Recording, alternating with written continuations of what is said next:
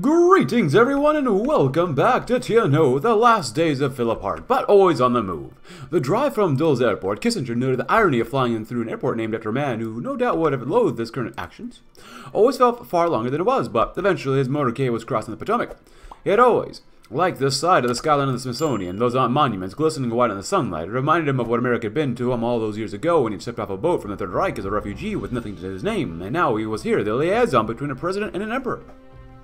The car pulled up to the White House, and a few minutes later, Kissinger was standing before President Hart. The nuclear talks have gone very well, he said. There's an ample crossover in intentions, and I believe that we're moving towards an agreement. The president nodded. Excellent. What are the next steps? We're moving, I believe, to the most dangerous phase of the negotiations, Kissinger said. Clarifications required as the involvement of the United States and Japan in each other's spheres of influence. Unlike the previous round, this is more than simply a matter of honor. I expect some sacrifices may have to be made here if we want detente to succeed. We shall see the cost is too great, and it's 3 a.m. Go figure. Our baptism of fire on the so-called drug crisis came during our time on the Senate Judiciary Committee.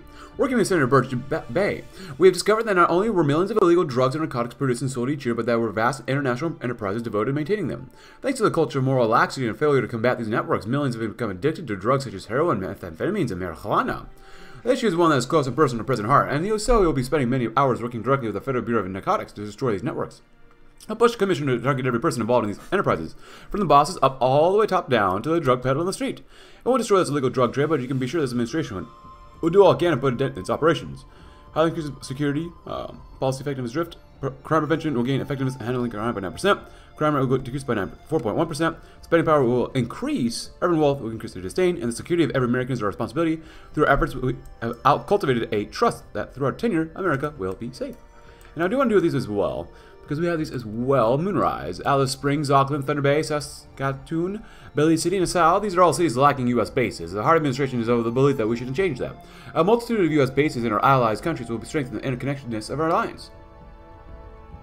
Uh, as such, it has been decided that a new wave of overseas bases will be constructed outside of the country, thus giving us and our allies better operability beyond our borders. So, I do want to do breaking the ice as well eventually. Um, ports will be nice. Wilsonian Optimist, uh, Metternich realist. Metternichian realist. An entire day of work, working meetings, droning briefings, and mind-numbing reiterations of previous policy taking a toll on the President fell apart. I was ready to call it quits. The final day's final meeting had been between Hart and the National Security Advisor, Kissinger. They discussed diplomatic protocols of topic both were more than happy to put aside. As President Hart slung his coat over his shoulder, Dr. Kissinger did something unexpected. Instead of leaving promptly, he approached the President's desk and asked, Mr. President, would you mind if I walked to your residence? A brief shock came and passed with the president, who quickly returned in the affirmative. He didn't mind, but the walk wasn't terribly long. Kissinger replied, "I don't mind. I don't care about the walk," and the two started. What I really care about leading Kissinger is Germany. We cannot reason with them. Harvard's military service in the Second World War engendered them enough, or enough to stand for the European superpower, but serving the presidency galvanized these feelings to a new level. We can isolate them, cut them off until he stopped himself. Until the regime collapses, surely. It is childish to fantasize that the government will end up and vanish.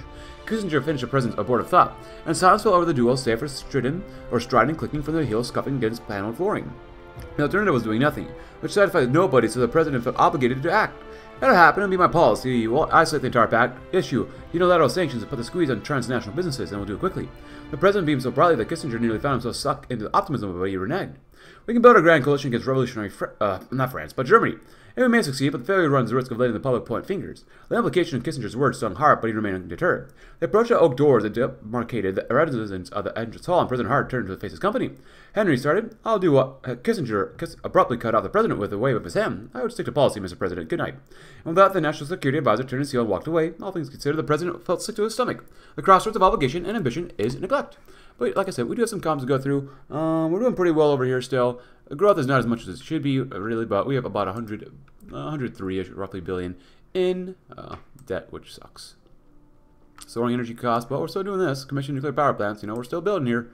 Build, build, build, build, build. That's us. Um, other than that, heart monitor, it's it's going all right. You know, it's not bad, it's not great, not bad. Um, keep things stable. Sure, why not? It's 3 a.m. But the pact is keeping up with us very, very assuredly. Keeping a move on things, issue, vegetarian, understaffed issue. Um, we're doing relatively okay-ish in some of these areas too, so. Moonrise. And the whole smoke and mirror thing, we're at 99%. That's really good. Holy crap. We're almost out of manpower too. 16.5%, uh, whatever. And down here, honestly, we have nothing else going on down here, so let's find uh, kind of ignore for now. So, uh, moonrise, and then let's do midnight. On the streets of Manila, the jungles of Malaya, off the Ivory Coast, and the scrub of South Africa, wherever the free world struggles, we come to their rescue. The only war that mattered, we lost, and any war we fight directly will end in nuclear annihilation. It is in this blurred line that Harry Truman believes America will excel. Proxy wars far and wide, secret agents. Clandestinely undermining the clay feet that these colossi stand upon. So the light of liberty bathes the world in its glow, one step at a time. Well, boost their public relations during the participation in proxy wars. I should have done this way earlier, but breaking the deadlock. Ever since the end of the Asia-Pacific War, the continued American presence in the Pacific has been a cause of anxiety for the government and the empire. Of the empire, Ambassador Takeuchi said, gesturing to the map of the region in the way that Kissinger thought to be wholly unnecessary. Particularly with recent conflicts within the sphere itself, there are many in the Japanese government who view your alliance's position in the Pacific to be fundamentally at odds with the, detente. I understand the position, Kissinger said, adjusting his glasses, but surely you must also understand that America cannot simply abandon allies that are soldiers to spent blood to defend. If we were to do what some of the militaries in Tokyo would ask of our diplomatic credibility, we'd be ruined. All our allies would worry of throwing us to the walls whenever it was asked of us. I fully understand that, Takeuchi said. Clearly some very complex diplomacy will be needed if we are to manage this balancing act, diplomacy that I believe it would be productive to conduct from Washington any longer. Kissinger rose from his eyebrows. Are you saying? Takeuchi nodded. A glint of pride in his eyes. How would you like to go to Tokyo? Thought we were there. Proofing. Uh, despite what Dr. Kissinger might think on the subject, President Hart enjoyed few, when few opportunities he had to collaborate with his Secretary of State on drafting legislation. On top of their history in the Senate, Hart admired Truman's Cold War attitudes interlaced with a deft understanding of politics on Capitol Hill. If anyone could find something wrong with an anti-Nazi embargo bill, it was Truman. What do you think? asked the president, who watched eagerly as Truman thumbed the, bill, bill's pages. After sufficient time for reading had passed, the aged Secretary of State laid the manila envelope down flat and looked hard in the eyes. I think if Ike were here began, involving Hart's wartime Supreme Commander and his precursor as President, Dwight D. Eisenhower, he'll blush. The ability to work and then some, I think that's what we need. His fingers then crept back towards the envelope and withdrew the opening summary, which he read with glee. Those Nazi sons of guns will hate this. Foul language aside, Philip Hart felt similar pride for the bill. If passed, would be the most decisive act of legislation against Germany since Congress's declaration of war, and would isolate Germany's sphere from one of the world's largest markets. For that reason, Truman predicted massive support for the bill and offered his congratulations to the president ahead of time. This embargo saved Europe, said Truman, whose uh, excitement was contagious. After receiving the elder statement's approval, the bar embargo bill was returned to its writers, briefly annotated, and officially placed for consideration. Nazism will be destroyed. City pledge. Budget hawks don't like that. Railroad crossing. Amtrak is business. The National Railroad Passenger Corporation, or flagship public rail initiative, referred to as Amtrak or Amtrak, uh, and most accurately Amtrak, is at last in service. It's no better time, too, since the early 1900s. Rail's fallen headlong into decline. Passenger service routes lines are hard on the drop, and the U.S. Post Office Department has diverted its main delivery from the use of passenger trains to other transport, and train lines are talking about filing for bankruptcy. This ends now. Amtrak is in business, and a new era for passenger train will begin soon. Though we've yet to create defined plans for the corporation, its goals will be lofty. We will not settle for some stopgap solution that keeps passenger train transport functional through the next decade or half century. Nor will we completely nationalize the trains the way the bloodletting socialists like Bukharin did. No, use Amtrak as a sort of actuator arm to stimulate the creation of a real public transit system in the country, to rival and surpass the Yamato and the Hitlerite system of transportation. Well, at least that is the goal. Uh, okay, so convert abandoned roads to parks. That's not bad. Funding goes down. I don't like that, though. Lower the speed limits? Oh, I don't like that.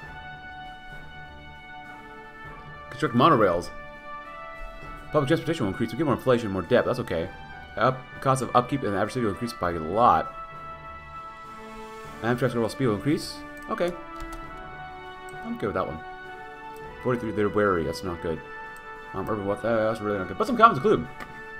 Ah, meanwhile, nationalizing and electrifying the U.S. railway industries would surely bright uh, ensure the bright future of industry. That is at least on the timeline. Someone says this Hart run feels like a current liberal wet dream. To be honest, at least the U.S. ones, excluding all the laws similar to the Singapore and some uh, instance. Oh, and they went to war with each other. Someone says, I guess adding that right to evoke unwarranted search was a huge mistake, huh? Well, you know, sometimes we make mistakes. Oh, good God, this is disgusting. Well, you, me, I love getting involved in Iran. It's my favorite place to get involved in sometimes when I like to blow up people. Yeah. Yeah, we like to blow up people. Why not?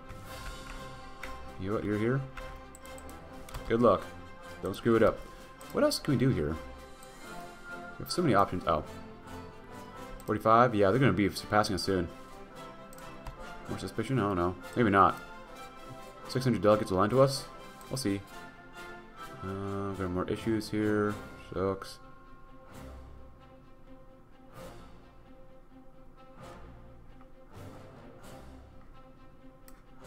Still building up all that stuff, though.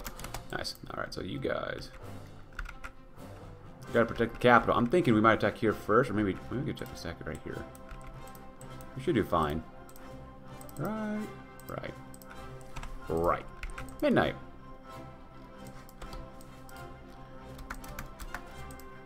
The private eye. Negotiate the purchase of de decommissioned rail. the democracy mobile. Spending power increases. I do want to do the uh, uh, costs for stuff as well. Little America. Urban stability as much as we can get. Budget hawks, sure. For far too long, administration after administration has seen fit to overlook violations of legislation put in place to protect the rights of labor. Staff the National Labor Relations Board with the cronies either unable or unwilling to enforce laws, letting businesses upset the balance between the worker and employer in the name of economic growth and political stability. Thankfully, President Hart and Attorney General Ribicoff have so much, no such qualms. With a fresh slate of appointments to the NLRB and a newly empowered mandate to enforce the provisions of the Wagner Act, businesses will think twice before trampling over the rights of labor. Nice uh, increases the likelihood of Republicans vote in favor of our agenda, and the city pledge wouldn't be bad. Basically, this just negates the city pledge, so um, I would like to do this as much as possible, though. But uh, the private eye. One of the first areas of the economy that Amtrak will hit will be the private sector. As we have stated beforehand, it's a perfect opportunity for such a measure. Railways are shutting down left to right centers, passenger ridership declines, and revenue decays. Before we proceed, however, let us be very clear about one thing we do not see now. Nor do we expect to see a need to build a new railway system from scratch. Know the network that, might have, that we have right now is already a great beginning. What we need to do is retool, rework, and repair the railway system until it's worthy of American Americans and no longer reminiscent of some Arab backwater. The incursion of Amtrak in the American private rail sector will be twofold. First, we'll buy up abandoned rails with a view on refurbishing them, and second, we'll cut leases and contracts to modernize other companies' railways. Beast or best. So the Central Asia office of the CIA had recently been inundated with files. Tashkent has been sparked a massive concentration of funds and agencies in the regions. But while the focus might be on those with shoes on the ground, a large bulk of the work was being done back at Langley via intelligence analysis. At the center of the ever-growing mountain of paperwork sat David Chambers, the longtime leader in counterintelligence in the CIA office.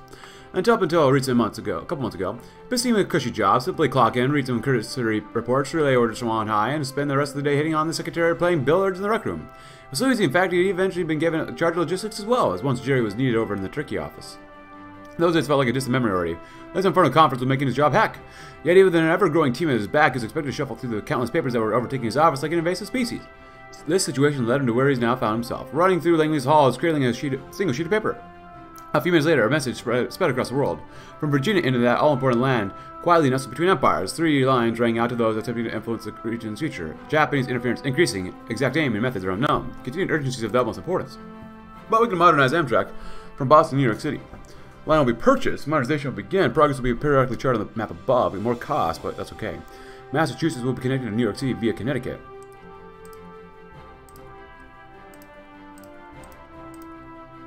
Is this supposed to cost political power? Because it's not going down.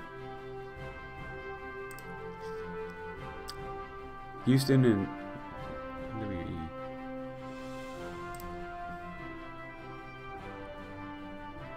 Gosh. Look at this.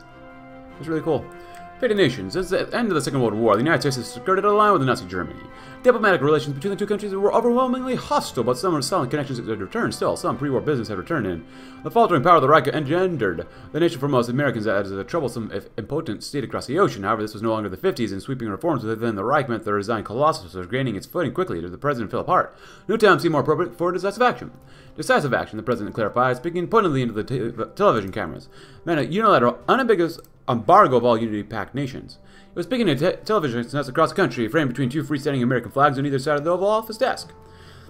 We must isolate Germany because it is the evilest nation in the world. If we continue to feed into the prosperity which itself is built on the backs of mass murder, then how can we call ourselves a freedom-loving people? This is a test not of our military alliances, but rather an endorsement of morality and decency. The president uh, Pause briefly. Suddenly frightful the rhetorical leap his administration was about to make, by regaining himself. The German occupation reaches from the Atlantic coast into the Russian heartland and is sustained by suffering. Can we bear to see the day that certain people have simply been ceased to exist outside the United States? President Hart in some air and prepared for this crescendo. Germany's hegemony in Europe was long thought to be on the decline, but this is true instead. Germany is recovering from its slump and may again impose its terror upon the world. I say this to all like-minded nations of the world. Democratic values and tolerance of Nazism are incomparable. Join the free world in condemning state terror and bringing justice to the imprisoned people of Europe. Thank you. No compromise against fascism. As we are now doing, of course, the private eye, uh, the city pledge. Fiddling around the private railway sector and making our old railways worthy of the modern American citizen is well and good, but it's not a be-all end-all. Nor will it suffice to prove the merits of Amtrak and its program to the average American businessman and civilian. Several forward-thinking city administrations, leaders of what the Hart administration is tended to refer to as model cities adhering to the city pledge, have already opted into the government's urbaniz- uh, urban modernization initiative. Therefore, in addition to support all of the proposals being worked on, they'll prepare themselves for local rail installations. These local rail installations may or may not have involved connecting the model cities to the broader countrywide system rail or rail system. Regardless of whether they do want things for certain to be involved in what most of the railway plans, city center rail systems are that cannot be but benefit the place where they are built. And American Shinkansen. It's not enough for us to build railways in cities or refurbish old tracks. We must make support for the Amtrak initiative as a matter of patriotism. Fortunately, President Harvard is well aware of a perfect thing at, to at once shame American complacency, inspiring the American people and galvanizing the business and industry in the direction we desire.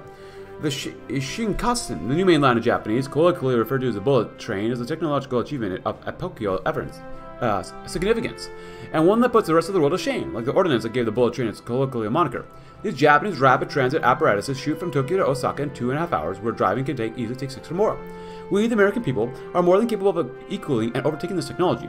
Amtrak may not be ahead of the curve now, but once American bullet train development kicks into high gear and yields results, we and not Japan will be the place to look for expertise and examples in embargo bills the Senate vote. Kissinger had been surprised when he heard the news out of the Senate. The embargo against Germany, the decisive blow against that thing, gang of thieves and monsters, have failed. Senator James Buckley had given some pontificating speech on rewarding recent encouraging reforms from Germany, and apparently enough of his colleagues had bought it. It was over. As Kissinger reflected on the situation, he didn't know why he was surprised, of course. Of course, those weak-minded fools who cared more about pandering to the idiocy of the American voter were taken in by the honey words of Albert Speer. Speer would engineer the very economy that enslaved Europe. Uh, Speer who sat fat in the mansion of the laborers' victims, and the Congress of the United States could not see through the lies of such an obvious piece of pawn scum. Kissinger sighed. There was nothing for it, sadly. Was not blessed to be working within a system where men who actually had some small concept of good sense were empowered to rule. He would accept the idiocy of American voters he had countless other limitations life had imposed on his genius. He would soldier on as he always had. Metternich never had to deal with this nonsense. Germany continues links to the American sphere. Well, is Speer even leading? I thought it was Bormann's leading. So that auto bypass, um, that auto happened because there was no bill being voted on, so. So I used Khan's commands and got this event instead.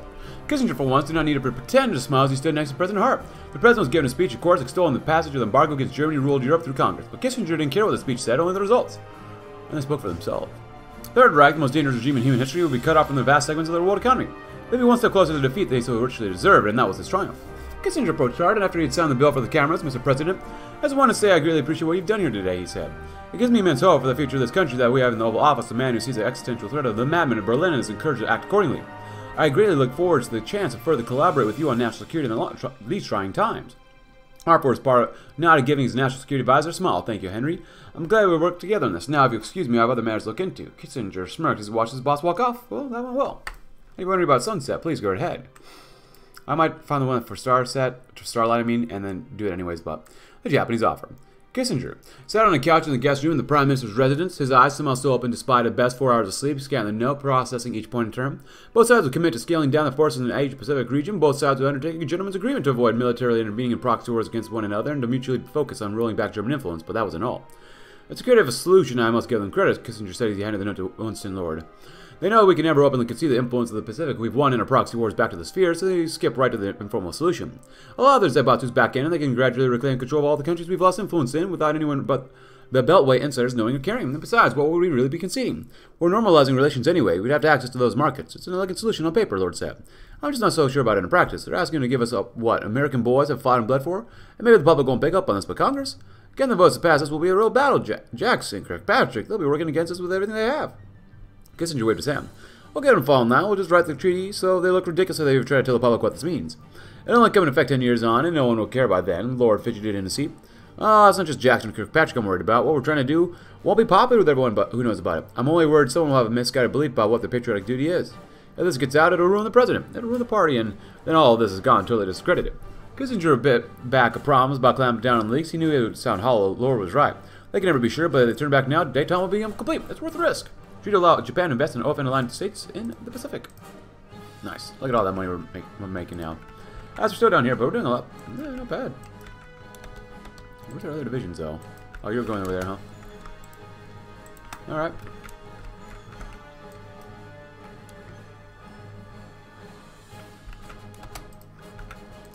Do the best you can.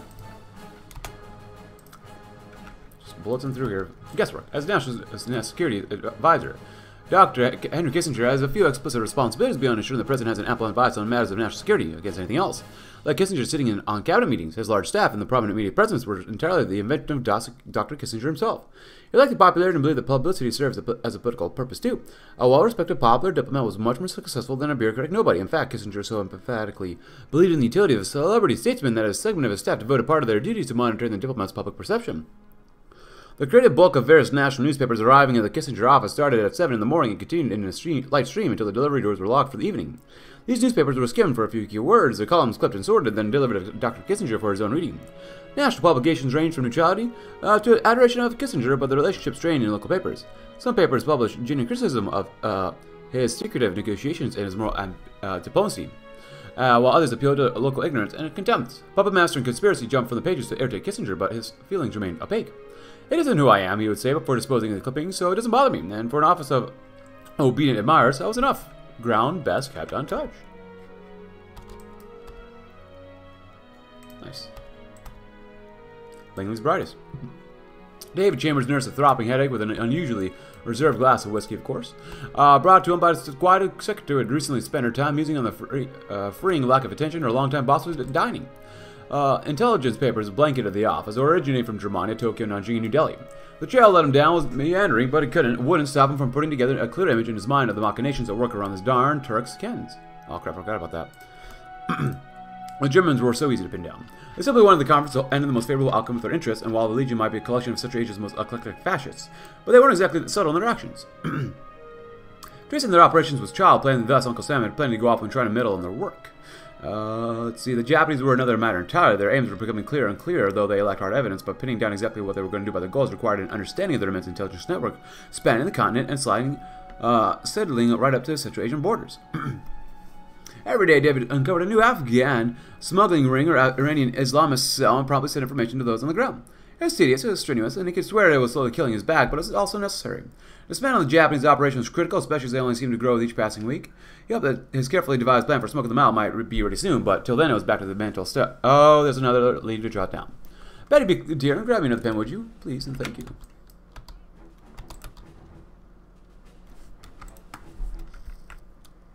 Nice. Nice. Going in, in, in, in, in, in. There goes those groups. Very good. Happy October, everybody. I know, just trying to get through all this stuff is so slow. My God. There's so many bits of reading, and it's TNO, and I'm not going to complain too much. I'll complain enough. But still.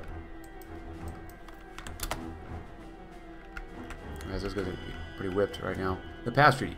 Hart adjusts his glasses down to the treaty. There will be nuclear withdrawals in the Pacific and a commitment to non-interference in the spheres of influence.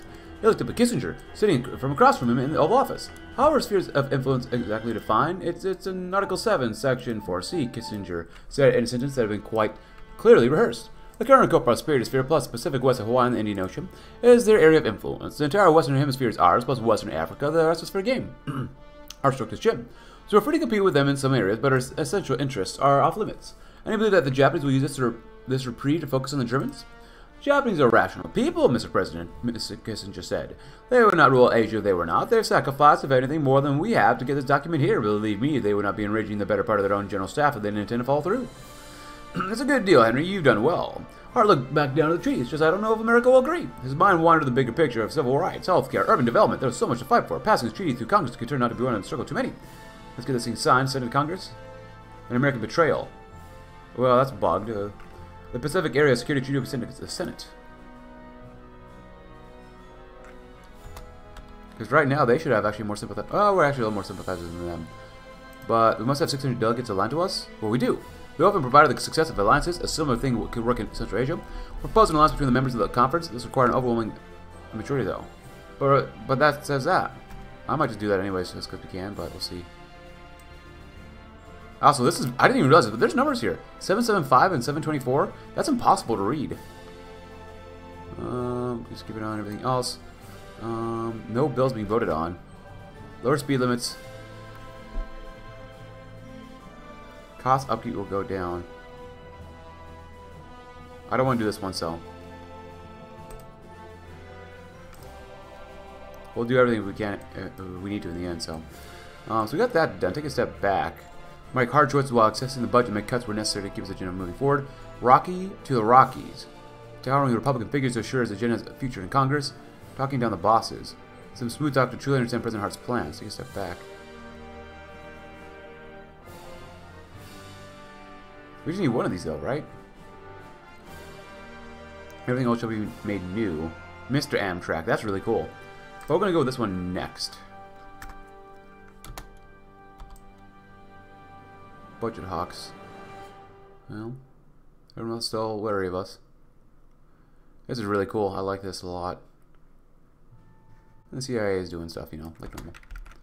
Between worlds. Before the Second World War, Eastern Europe immigrant com communities had a long history in the United States and popular ethnic enclaves across the country.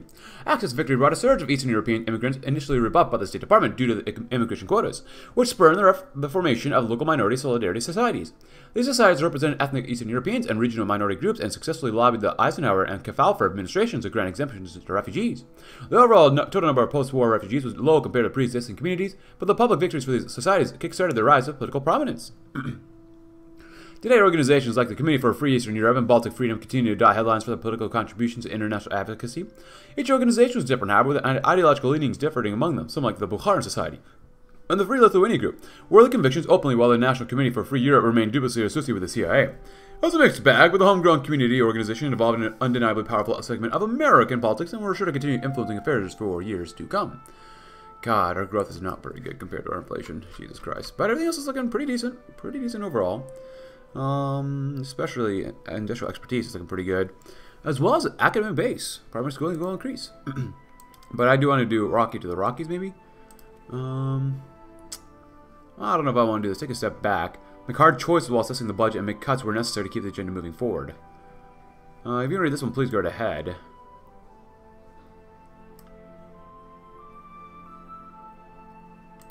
Uh, I'll probably do this one, Rocket to the Rockies. No matter what one calls a redoubtable Nelson Rockefeller, whether that be part of the son of the Rockefeller oil family, philanthropist, or liberal progressive Republican, Rocky, or certified painting order, one thing is clear to everyone that listens to him is about fiscal matters for even a moment, that he's a staunch fiscal conservative. That's why the Hart administration has begun to set up discussion with him and his faction of the Republican Party. How new budget will make uh, Rocky feel faint, but the silly man, as many Democrats call him, could be the difference between life and death for a general garner Republican backing. It may irritate our administration to have to consult with the Rockefeller and his who are in fact sometimes pejoratively referred to as the Rockies for how immovable they can be. But Hart knows that they, we have no choice. Republicans are liable to oppose these plans no matter what, and so we need to do what we can to calm their nerves and keep our coalition as stable as possible no matter what we end up deciding. yeah, but must not be, must fall, must fall. Buddy buddy, or buddy bud. Whether the average American realizes it or not, they have likely encountered a product of the Budd Company. If they've ridden busy highways or city subways, watched interstate sleeper cars roll past, or seen a rusted hulk of on rails yearning for better days, a rolling stock was likely produced at the Budd plant in Philadelphia. Budd's ubiquity, an American passenger rail made it the natural choice of the Hart administration for creating the nation's first high-speed rail train. As early as 1966, Bud engineers devised plans for a bullet train capable of reaching speeds exceeding the Japanese Shinkansen. A shortage of funding that kept their stubby, cigar-like Metroliner design confined at the drafting board until Hart administration contract. Offerings quickly dispelled worries about finances. Secretary of Commerce Mike Monroney had made the closing the train gap his personal goal and showed his devotion to their operating budget. Before long, the Budd, Budd plant was told and staffed for an expected surge in Metroliner orders, but an unexpected act of internal dissent brought the build-up to a halt.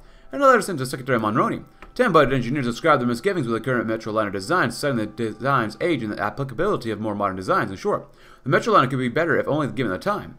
Prototype Metroliner was operating with the Pennsylvania Railroad stock fell 50 miles per hour short of the intended 150, which the engineers promised they would rectify after a thorough but timely rework of the entire design, such a chassis already dubbed the Superliner by their proponents. Would meet and possibly exceed federal performance criteria. Adopting the Superliner would throw the butt, butt plant into chaos and require similarly thorough rework of pre-existing assembly lines, but the potential to produce a truly spectacular train. Seated in his de uh, department office, the Commerce Secretary muled his options. Proceed as planned with the working train or heed the engineers and pivot towards a new design, risking risk being made obsolete or revise an entire program of the misgivings of the engineers. Metroliner, the modern train, futures train, superliner. I don't know, man. Uh, this seems like this seems really risky. I kind of want to see what the superliner does, though.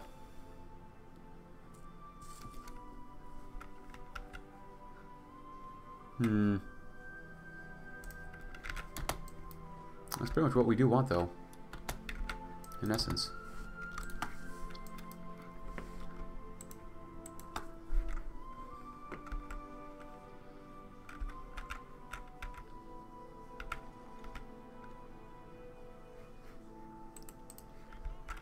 Oh, you're just defending there. That's fine. as much as we can. and we could do taking down the bosses too, but if you want to do this, please go ahead. This one too, but maybe... Uh, well, the Republicans kind of like us. I mean, we're really good with them, so... Look at that. Nice. Ooh, that's not good, though. Let's do this. We're taking, talking down the bosses first. And for the boys, that'd be good to do. In a situation where we need to pinch every penny possible to ensure efficient functioning and move as hard as fast as we can, not only get the G GOP and other potential hostile factions any reason to hit us, corrupted and incompetent contractors are something that we cannot tolerate. Decisive action must be taken to secure ourselves against the prospect. Careful and thorough audits must be conducted of every company and every contract that has been bid upon. Executives and managers should be closely examined for embezzlement, graft, grift, and any other kind of problematic behavior. Materials used in construction should also be monitored and ensure that they are used for the exact things they were earmarked for and nothing else without very good reason to change plans. There's likely a drawback to all this, unfortunately. If we go about auditing things with our customary zeal, delays are no mere possibility, but a certainty. It'll be up to the President and Amtrak leadership to determine the extent to which the cost of delays outweigh by the cost of malfeasance, corruption, and comes not investigated and stopped. I know I'm reading pretty fast, and I apologize once again, but there's there's so much, man. And I like it, but still. Nothing's being voted on here, too, so... 62.5, nothing's really changed across the aisle.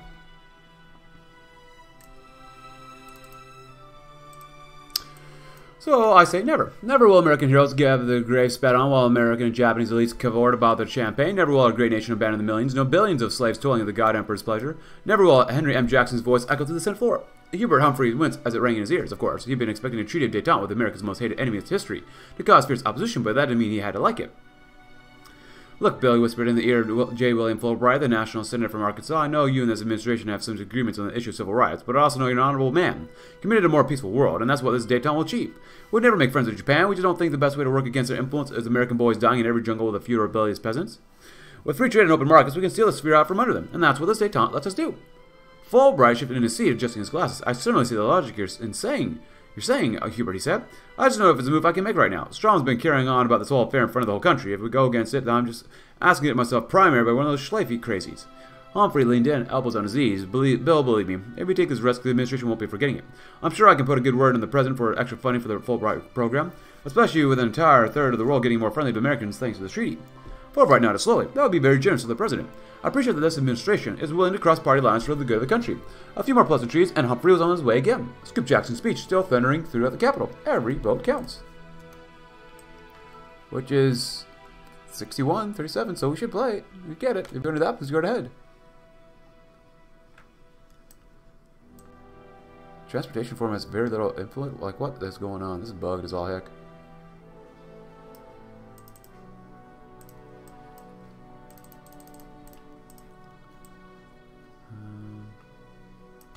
Almost 97% done for this one. It's very good. It's awesome. Uh, that's I'm not super concerned about like researching stuff. but happy November?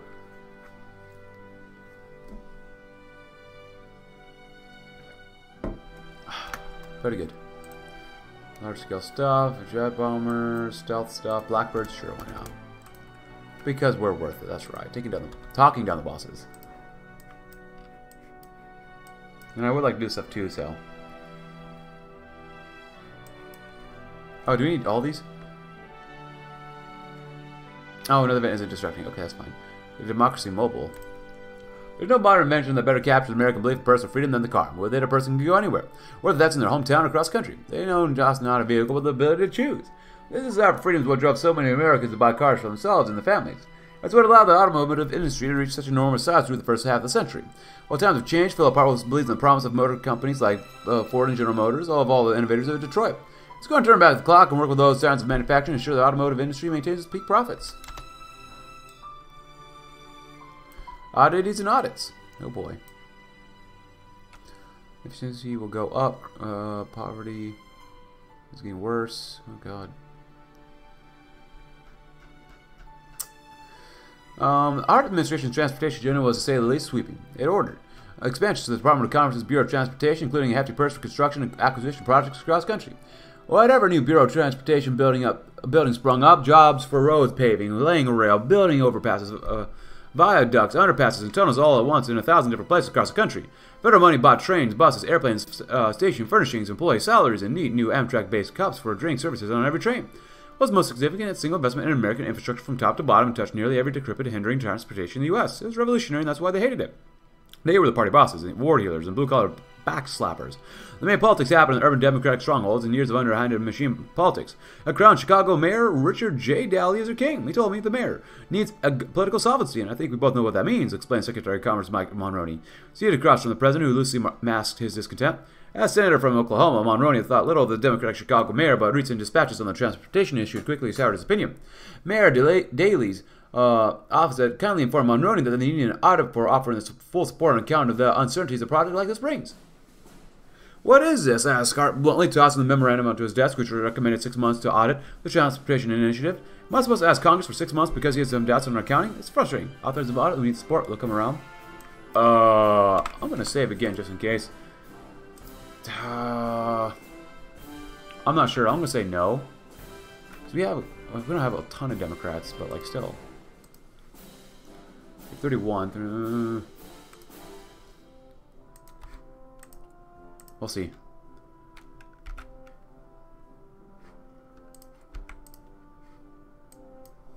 Full steam ahead. This past several months, the Howard administration has crisscrossed the country, leaving Washington and other havens to take charge of things. To the astonishment of observers, they have not been the usual humdrum. Uh, bureaucrats that were once seen mocked in the papers, they've been filled with a bounce and an excitement for American infrastructure that is stirring. Their verb and brains what has made the most impossible seem possible. Legislative initiative. The push for high-speed rails is possible only because of these people and their desire to make America better. We owe it to them, to the American people, to pass bills that bring about real change in transportation. What can help? That can help with consumers of all types living their lives. With new funding, we can bring people together and show them what an active federal government can do. Path forward. What does Washington do when it doesn't? Understand something? It creates a study commission, of course. From Teddy Roosevelt's Commission on Economy and Efficiency to Kennedy's Commission on the Status of Women, these task forces are a way to bring experts to the table to study a problem, consult the public on their views, and develop evidence-based policies that can solve the issue. Now we have the opportunity to launch a commission of our own to understand how Americans use cars in their daily life. The findings will be essential in guiding our policies to help drivers and boost the automotive industry. We'll just have to make sure the task force is thorough and unbiased in its work and that can actually follow through on the solutions it suggests. Otherwise, this could end up a boondoggle between friends. Oh boy. Oh god. Hopefully you can get stuff done. The little man likes us more. Yeah, I'm probably just gonna use consequence for that. Anything else? Yeah. Between friends. Imagine for a moment that America not to do something from the present. Uh, connected by layers of linkages, created courtesy and responsive, ever-improving infrastructure network. Uh, in this America, it's possible to go anywhere at any time. It will require time, a bit of walking, and a fair fare to keep the lights on. This transportation dreamland runs its trains every five minutes, connecting stations and areas of public interest by bus lines at an even greater frequency. Along roadways, filled with affordable automotives and serve the web's gaps. An investment in the public transportation infrastructure is a payment towards Americans' accessibility and delivers on the promise that the United States should be enjoyed by all its citizens. At least that's the idea, President Philip Hart has stated. Ending his impromptu lecture with a curt gesture. The speech's only audience, Vice President Chet Morrison's feigned applause with a chuckle before levying his response, barely telegraphing. My only concern will be the books, before the President slumped loudly back into his chair. After a brief, pregnant pause, the Vice President smirked and prodded in a low voice. You don't think Secretary Jacobs was bugged the office, do you? No, replied the President, who aimed, who smiled despite rolling his eyes. Morrison continued, then what's the problem with some budget talks between us? If you're concerned about what to cut, take it out of our hands, why not? Pull it, see what the people want, giving us some breathing room. It seems reasonable enough, though Hart, as he leaned forward to grab his desk phone put me through to the Census Bureau. The administration's efforts are located in the decision tabs. Pay close attention over the next few weeks. Hmm. 50% more hawkishness, huh?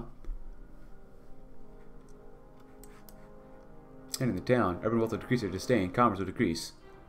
Street corner, huh? Zip it, talk it. Uh, maybe. Civil rights, cost goes up, efficiency goes down.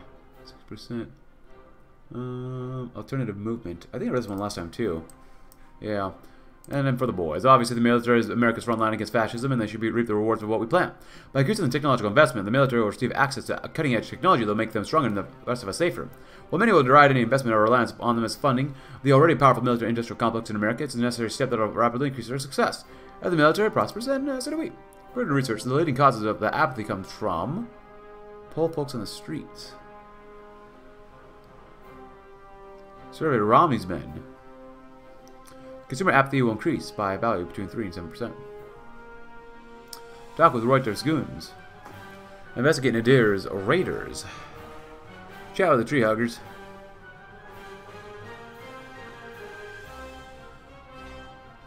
skew the wording. Let's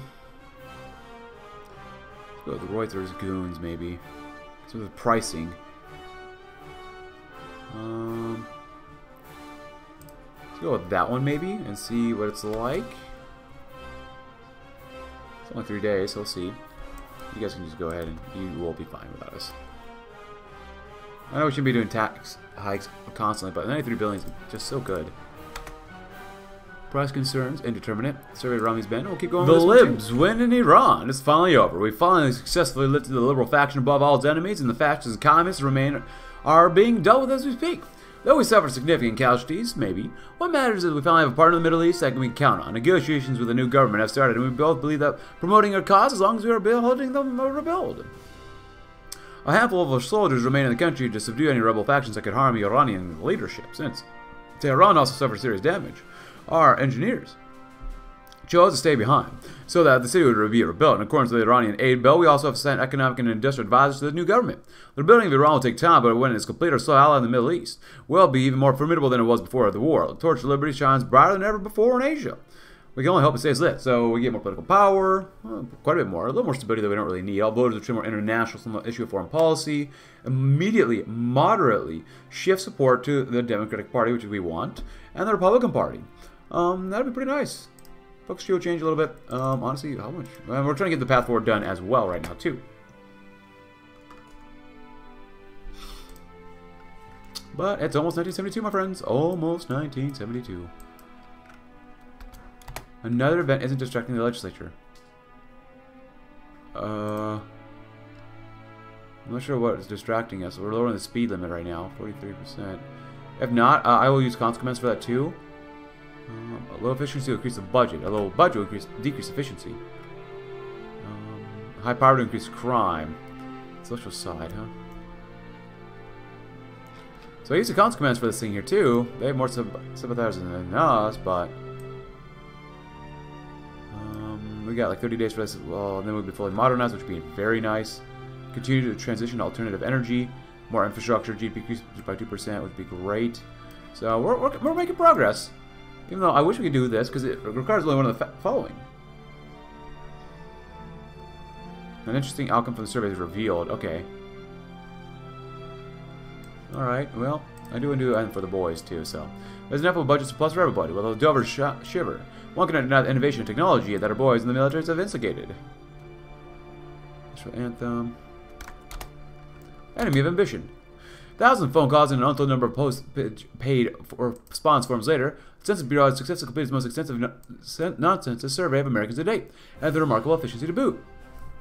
Respondents answered questions ranging from the satisfaction with the government transportation services to the priorities for future infrastructure. After weeks of waiting, the results were sewn in a neat column rows and forwarded as a condensed teletype report to the White House.